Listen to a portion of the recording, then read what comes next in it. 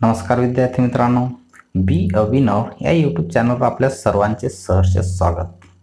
मित्रांनो हा व्हिडिओ शेवटपर्यंत बघाच. जसजशी विधानसभा निवडणुकीच्या आचारसंहितेची तारीख जवळ येत आहे तसतशी निवडणुकी यादी सर्व पात्र उमेदवारांना शिक्षक बनवणार ही आशा धुसर होत जाणार आहे.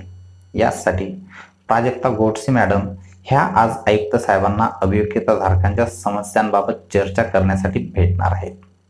सध्या अभियोग्यताधारकांचे ज्वलंत प्रश्न आहेत ते पुढील प्रमाणे. तर बी एम सीवाल्यांची नियुक्ती कधी? आता बी एम सीवाल्यांना सांगितलेलं आहे की आम्ही फक्त जे प्युअर इंग्लिश मिडियमचे विद्यार्थी आहेत तेच घेणार आहेत.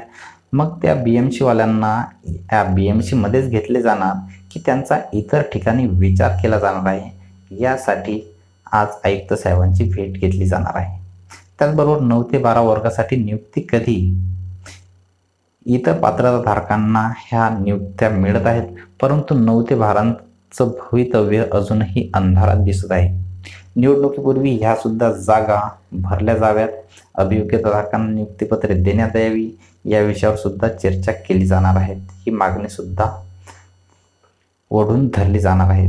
त्याचबरोबर माजी सैनिकांचे काय? ज्या माजी सैनिकांच्या रिक्त जागा आहेत त्या रिक्त जागांबद्दल शासनाचा निर्णय काय? त्या कधीपर्यंत कन्वर्ट होतील आणि त्या जागेवर कधीपर्यंत इतर विद्यार्थ्यांना चान्स मिळणार आहे संधी मिळणार आहे यावर सुद्धा चर्ची चर्चा केली जाणार आहे.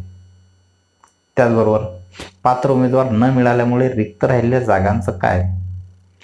शासनाने सांगितलं की आम्ही ज्या लिस्ट लावली त्या लिस्टमध्ये काही पात्र उमेदवार आम्हाला जे हवे आहेत ते मिळालेलेच नाही. त्यामुळे काही जागा रिक्त आहेत. मग त्या रिक्त राहिलेल्या जागा कधी भरल्या जातील कशा भरल्या जातील हा विषय सुद्धा चर्चेसाठी ठेवला जाणार आहे. तर आज साडेबारा वाजता आयुक्तांसोबत मीटिंग नियोजित करण्यात आलेली आहे. तर प्राजक्ता मॅडम ह्या संघटनेच्या वतीने नाही भेटतील तर स्वतः एक उमेदवार म्हणून त्या आपली बाजू त्या ठिकाणी मांडतील.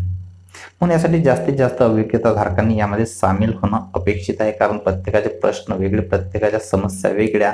तर खूप जण असले तर आपापल्या समस्या आयुक्तांसोबत मांडू शकतात.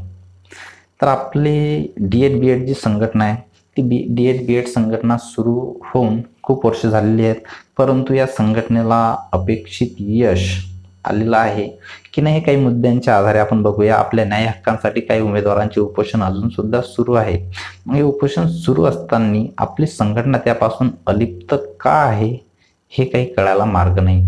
संघटनेने सुद्धा या उपोषण करताना कर्त्यांना साथ देणं अपेक्षित आहे आवश्यक आहे. मित्रांनो तुम्हाला काय वाटते ते सुद्धा सांगा.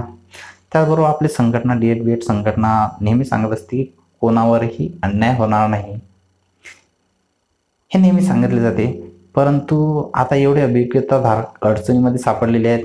आता अशा वेळी आपली असोसिएशन काहीच का करत नाही किंवा नेमकं काय करत आहे हे सुद्धा कळायला मार्ग नाही आहे एक उपोषण वगळता आपल्या डी एड बी एड असोसिएशनने काही ठोस केल्याचे आठवत नाही आणि ज्या उपोषणामध्ये आमचा सुद्धा सहभाग होता.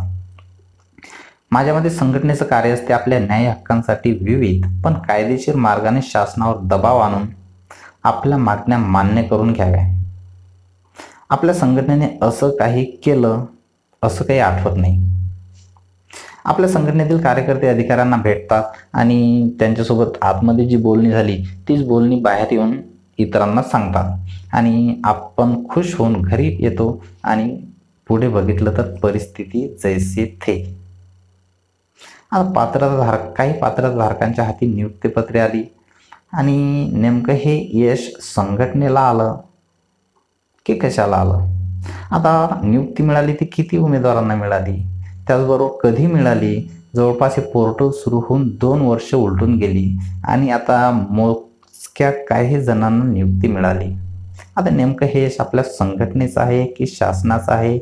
आणि जे उर्वरित कॅन्डिडेट्स आहेत उमेदवार आहेत यांना नेमकं कधी नियुक्ती मिळणार? यांचं भवितव्य कधी उज्ज्वल होणार? आणि यासाठी आपल्या संघटनेचे प्रयत्न काय असतील आणि काय असायला पाहिजेत? मित्रांनो हा प्रश्न मी तुमच्यावरच अनुत्तरी सोडत आहे. तर तुम्हाला याबद्दल काय वाटते कॉमेंटमध्ये लिहून पाठवा. धन्यवाद.